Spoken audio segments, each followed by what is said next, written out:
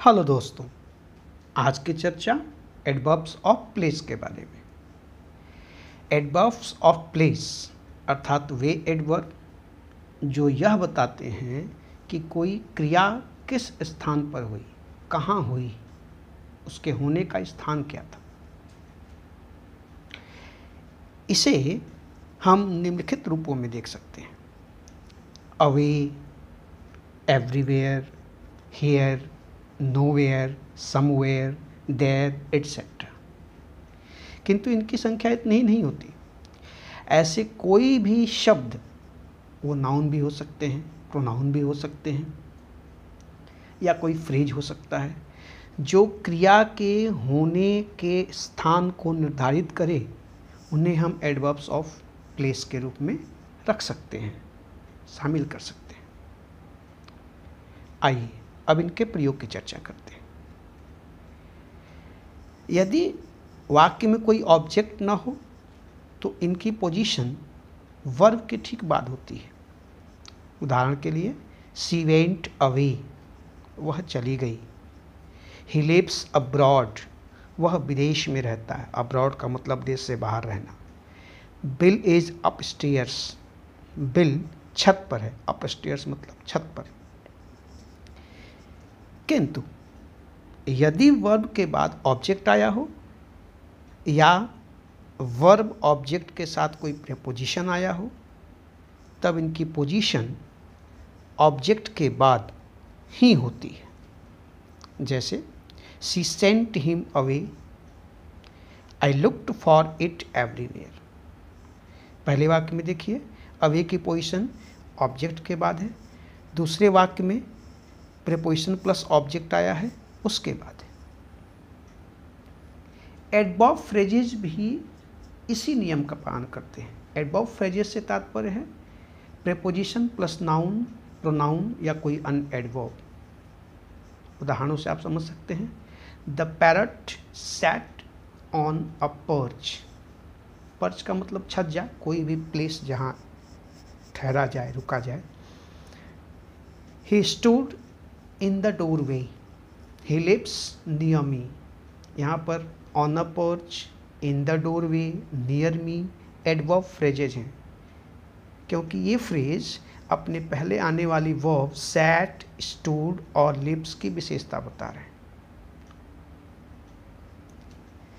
Somewhere anywhere का प्रयोग करते समय हमें उन्हीं नियमों का पालन करना चाहिए जो हम सम अथवा एनी के लिए करते हैं। कहने का तात्पर्य कि समवेयर का प्रयोग अफॉर्मेटिव सेंटेंसेज में एनीवेयर का प्रयोग नेगेटिव सेंटेंसेज में। यदि इंटरोगेटिव सेंटेंस हो तो हम अर्थ के अनुसार इनमें से किसी का भी प्रयोग कर सकते हैं। उदाहरण से आप इसे आसानी से समझ सकते हैं। I have seen that man somewhere ये अफर्मेटिव सेंटेंस है। I can't see my keys anywhere negative sentence है। लेकिन नीचे के दो वाक्य देखिए। Are you going anywhere ये एक ऑर्डिनरी क्वेश्चन है। सामने वाला पूछ रहा है कि तुम कहीं जा रहे हो क्या? आर यू गोइंग समवेयर इसका मतलब है, मुझे ऐसा लगता है कि तुम जा रहे हो। I assume that you are nowhere का प्रयोग भी हम इस पोजीशन में कर सकते हैं, जब इसका अर्थ होता है टू गेट नो वेयर अर्थात टू मेक नो प्रोग्रेस कोई भी प्रगति या कोई उपलब्धि हासिल न करना, इस सेंस में जब प्रयोग हो तब। जैसे threatening people will get you nowhere इसका अर्थ है कि you will gain no advantage by threatening people लोगों को धमकाकर आप कोई भी लाभ नहीं पाएँगे।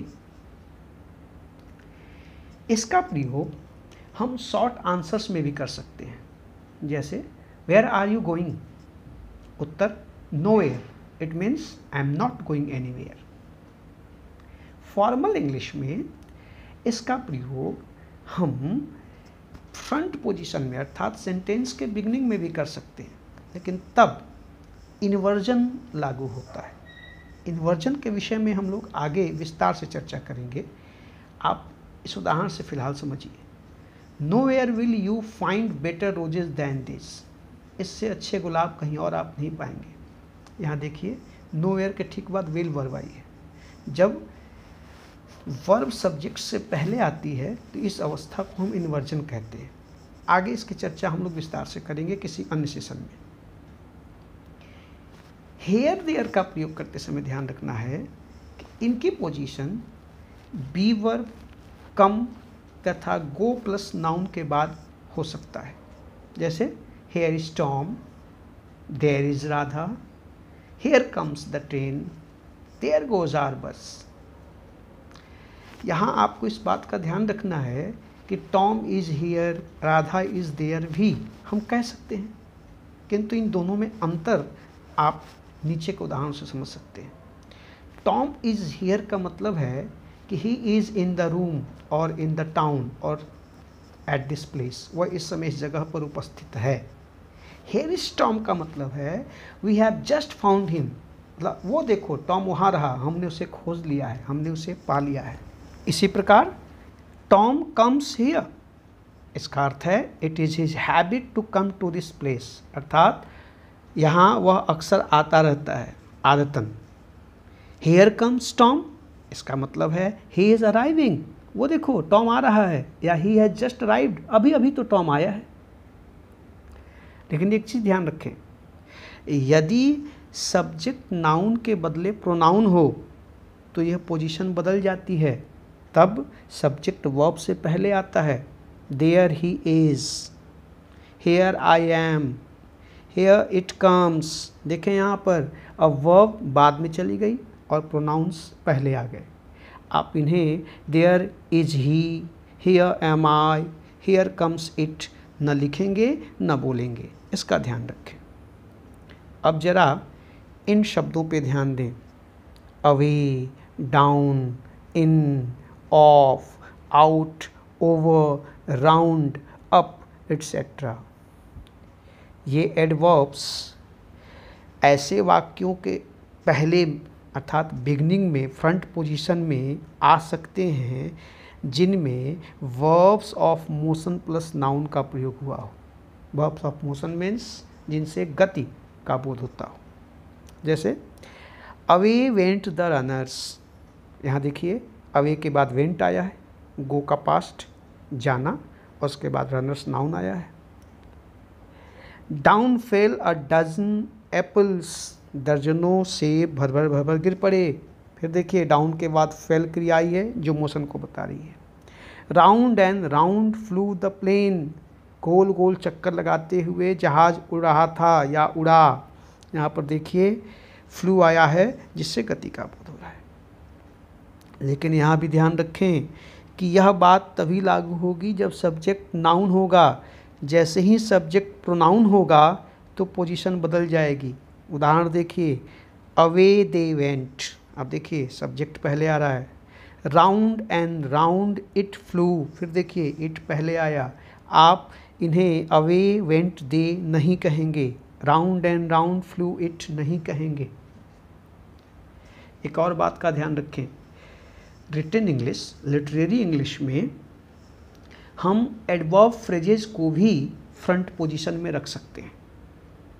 अब मैं जिन उदाहरणों को बताने जा रहा हूँ, ये थोड़े जटिल लगेंगे आपको, क्योंकि ये लिटरेरी हैं रिटर्न इंग्लिश में इनका प्रयोग किया जाता है। आप इन्हें ध्यान से देखें, उदाहरणों को देखें और समझें, क्योंकि ये होता है। ये आपको जानना होगा कि इंग्लिश में ऐसा लिखा बोला जाता है। यहाँ पर ध्यान रखें कि जब ये एडवर्ब फ्रेजेज आते हैं शुरू में तो इनके ठीक बाद जो वर्ब आती है, उससे या तो किसी पोजीशन का बोध होता है, या तो मोशन का, या तो कुछ अन्य चीज़ों का लिव डाई एट्सेट्रा उदाहरण देखिए। From the rafters hung strings of onion गाँव में छज्जा लगाते हैं जिसपे आप लौकी, कद्दू आदि लटका के फलने के लिए छोड़ देते हैं। तो ऑनियंस मैंने प्याज की लताएँ लटक रही थी राफ्टर से झमड़े से। ठीक है? आप देखो फ्रॉम द राफ्टर्स यहाँ पर फ्रेज है, जिसके ठीक बाद हंग आया है, जो पोजीशन की बात कर रहा है। In the doorway stood a man with a gun दरवाजे पर एक व्यक्ति बंदूक लेकर खड़ा था। फिर देखिए इन द डोरवे फ्रेज है, ठीक है? जिससे पोजीशन का बोध हो रहा है। उसके बाद स्टूड खड़ा होना वर्ब रही है, जो पोजीशन बता रही है। On a perch beside him sat a blue parrot छज्जे पर उसके बगल में एक नीला तोता बैठा था। यहाँ भी देखिए on a perch beside him phrase है। उसके बाद सेट वर्वाई है, जो पोजीशन को बता रही है।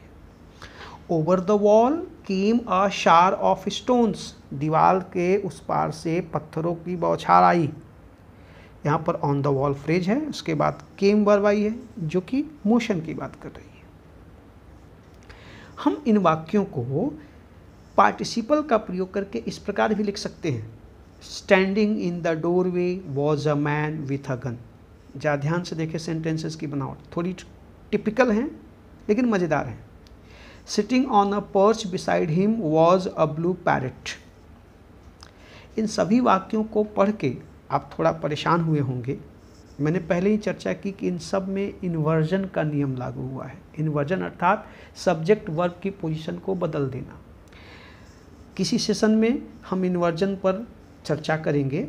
आप ये समझें कि इन सभी वाक्यों को सीधा करके लिखा जाए तो हम कह सकते हैं कि a man was a man with a gun was standing in the doorway हम कह सकते हैं कि a blue parrot was sitting on a perch beside him ये सीधे वाक्य हैं। इन्हीं को हम यहाँ इन्वर्जन करके लिख रहे हैं। तो इस तरह से आज हमने एडवॉव ऑफ़ प्लेस की बात की। आप इनको समझें और इसका लाभ उठाएँ। आगे के सेशन में कुछ और एडवॉब्स की चर्चा होगी। Thank you